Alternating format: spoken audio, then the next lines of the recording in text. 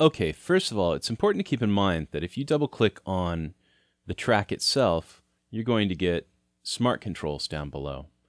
When you double click on a region, that's where you get the presets and the variations. You can see it shows you a bar ruler up top that'll go by if you only have a single region selected.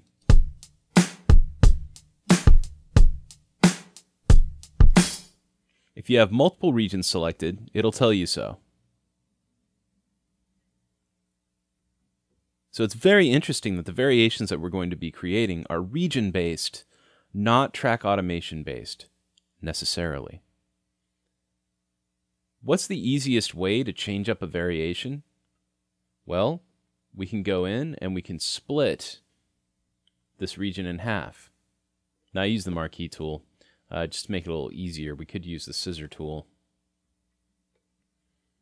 I'm just used to doing things that way. So there we go. Here's a region, and here's a region. So in this region, I'll choose lay it down. In this region, I'll have lay it down, but I'm going to change the complexity.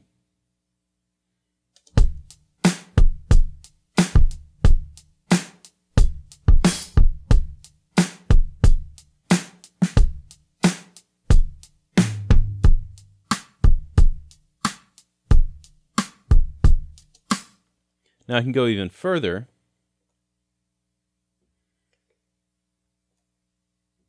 And I'll split this region.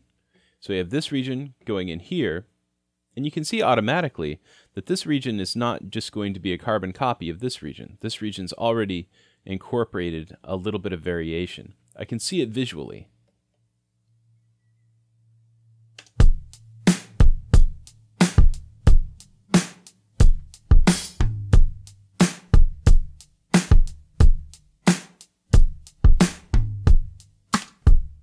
Now I'm going to adjust the XY pad here on this region.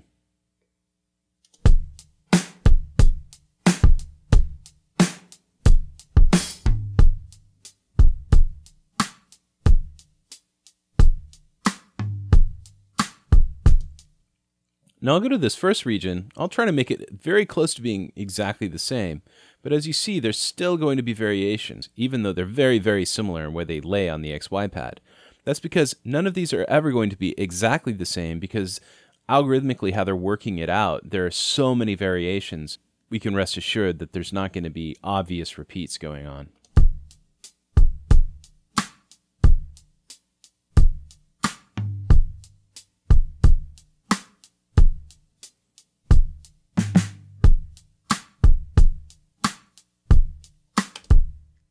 So the XY pad is a fantastic, easy way to switch up variations as we go from region to region.